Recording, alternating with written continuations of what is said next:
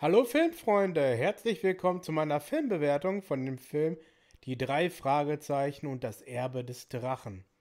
In diesem Film werden unsere Kollegen Justus Jonas, gespielt von Julius Weckhoff, den man zum Beispiel aus Catweasel kennt, Peter Shaw, gespielt von Nevio Wendt, den man aus Rocker verändert die Welt kennt, Bob Andrews, gespielt von Levi Brandle, die machen ein Praktikum bei dem Vater von Peter. Der Henry Shaw, gespielt von Mark Waschke, den man zum Beispiel aus der Dark-Serie kennt. Und die machen ein Filmpraktikum bei der Firma von Henry Shaw. Und sie müssen nicht in Rocky Beach bleiben, sondern das Ganze verlagert sich nach Rumänien.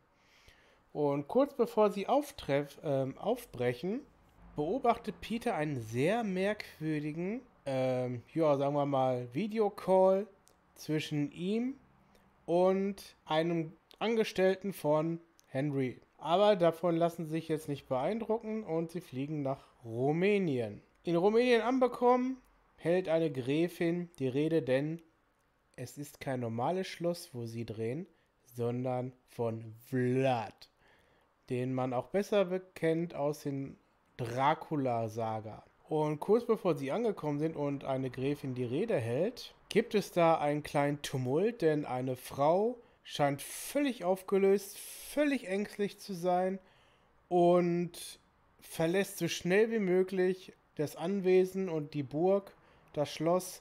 Und Justus wittert da schon so ein bisschen, dass da irgendwas nicht in Ordnung ist. Aber sie lassen sich da bisher noch nicht so richtig beirren und fangen erstmal an mit ihrem Praktikum. Und während des Praktikums verdichten sich da immer mehr komische Dinge. Es passieren immer mehr komische Dinge, denn es gibt da komische Klopfgeräusche und noch so ein paar andere Merkwürdigkeiten. Und die gehen die, ba die drei ein bisschen auf den Grund und dringen da in ein paar Teilen der des Schlosses vor, wo sie nichts zu suchen haben. Und das gibt auch immer mehr Ärger, dass Peter dann auch in hin und her gerissen ist. Er möchte zwar auch irgendwie den Fall zwar gerne ähm, lösen und so, aber er kriegt so viel Ärger von seinem Vater und dies und das und die standen, stehen kurz davor, auch nach Hause geschickt zu werden, dass Justus erstmal so ein bisschen mit Bob ein bisschen alleine auf weiter Flur steht. Ja, so viel zur, zur Story. Also ich muss sagen, kommen wir zu den erstmal das Positive. Sie haben wirklich echt gute Schauspieler gecastet. Also die passen wirklich gut rein. Die scheinen sich wirklich auch mit den Charakteren aus der Hörspielreihe beschäftigt zu haben. Die passen da wirklich sehr gut rein und auch diese verschiedenen ähm, Charaktereigenschaften werden da gut heraus gearbeitet. Also Peter so ein bisschen so der ängstliche, aber sportliche Typ.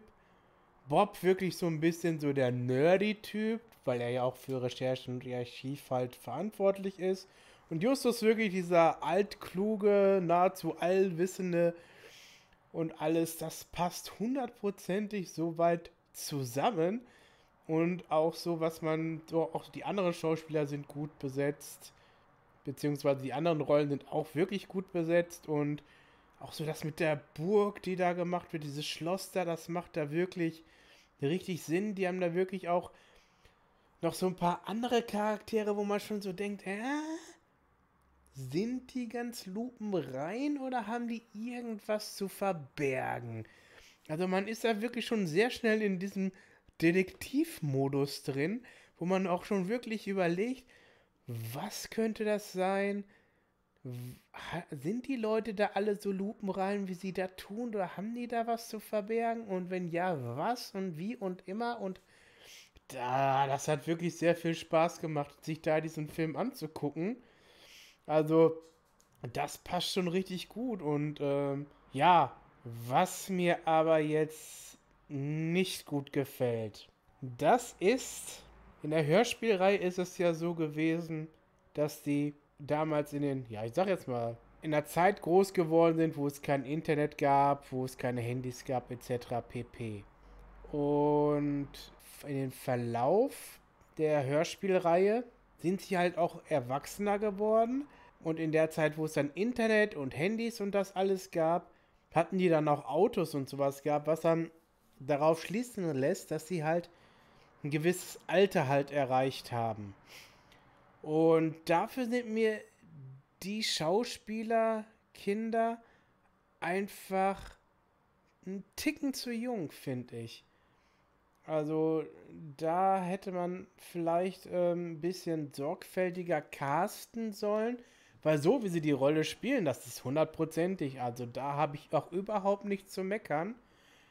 Aber da fehlt mir so ein bisschen so dieser Feinschliff. Da hätte man vielleicht auch ein bisschen konsequenter darauf achten sollen, können, müssen vielleicht sogar wo man dann Schauspieler castet, die dann so, ja, sagen wir mal so 17, 18 Jahre alt gewesen wären, die dann tatsächlich auch ein Auto haben und sowas alles, wo das dann alles auch so in den, in den, ähm, ja, in den Hörspiel-Kontext halt reinpasst. Aber wie gesagt, also, so wie die Jungs das gespielt haben, gerne. Also ich schaue mir gerne wieder Filme an, wo die bei sind. Und ähm, wie gesagt, wenn die jetzt noch einen Ticken älter gewesen wären, wäre es perfekt, glaube ich, gewesen. War nahezu perfekt. Also da kann man nichts anderes sagen, auch was da so an äh, Trick-Animation da gibt. So zum Beispiel äh, beim Abspann hat mir sehr gut gefallen, muss ich sagen. Also man hat da wirklich schon sehr viel Liebe ins Detail reingepackt. Wo ich jetzt aber beim Abspann gerade war, was mir auch zum Beispiel nicht gefallen hat. Ich weiß nicht warum. Also normalerweise dürfte das rechtlich überhaupt kein Problem sein. Ähm, man hat weder die Titelmusik von der Hörspielreihe genommen, noch irgendwie andere Melodien, die mir jetzt so spontan in den Sinn gekommen sind, sondern man hat da komplett andere Musik genommen, wo ich sagen muss, ach Leute, warum macht ihr das? Somit hat man dann schon sofort so ein bisschen diese Verbindung zu der Hörspielreihe. Dann nimmt doch die Musik, ihr müsst doch die Rechte doch dafür haben. Also dafür habe ich absolut jetzt kein Verständnis für. Da hätte man wirklich die Intro-Musik nehmen können.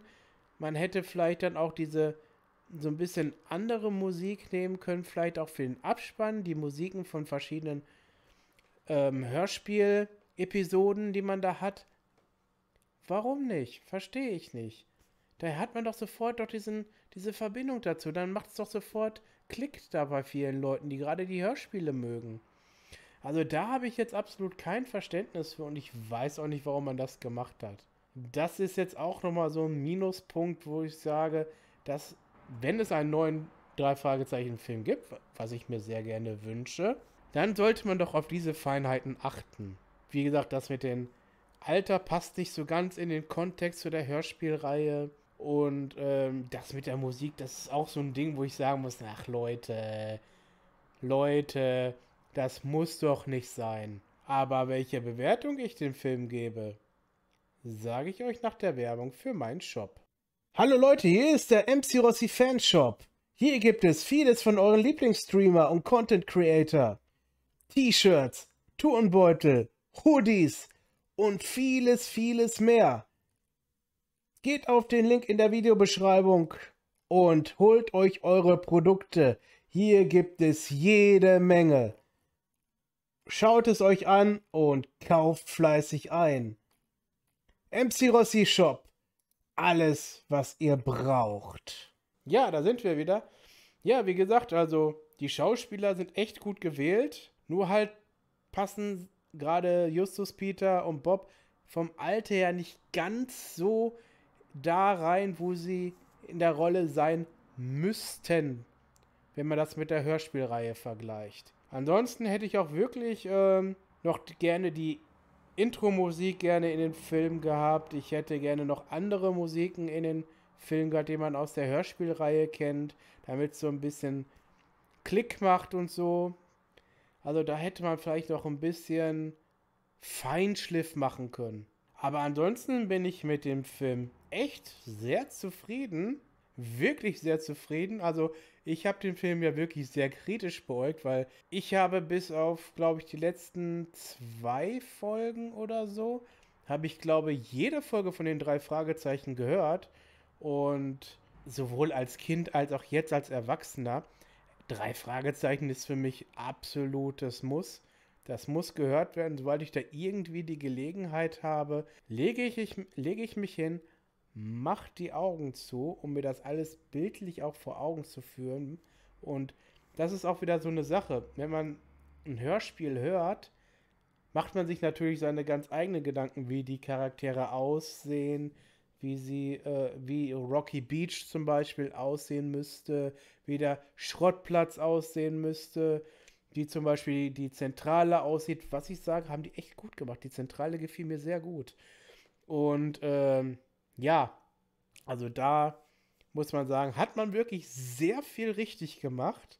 Aber so bei so kleinen Details wie zum Beispiel das mit dem Alter und mit dem mit der Musik hat man natürlich da so ein bisschen, sage ich jetzt mal, Kritikpunkte gehabt, was vielleicht vielen vielleicht gar nicht so wichtig ist, aber das sind jetzt so die Kritikpunkte, die ich habe und somit gebe ich dem Film zwischen vier und fünf Totenköpfen, weil der Film wirklich sehr gut gelungen ist. Sehr großes Lob auch an die Kids, die das geschauspielert haben. Sehr toll. Also ich glaube, dass die Kids definitiv noch eine große Karriere vor sich haben und das und da wünsche ich allen Beteiligten auch viel Erfolg. Ja, wenn euch gefällt, was ich mache, klickt auf den Abo-Button, gebt mir ein Like und unter der Videobeschreibung sind ein paar interessante Links. Guckt da mal durch, ob da was für euch bei ist. Damit unterstützt ihr meinen Kanal und ich wünsche euch noch einen schönen Tag. Bis demnächst.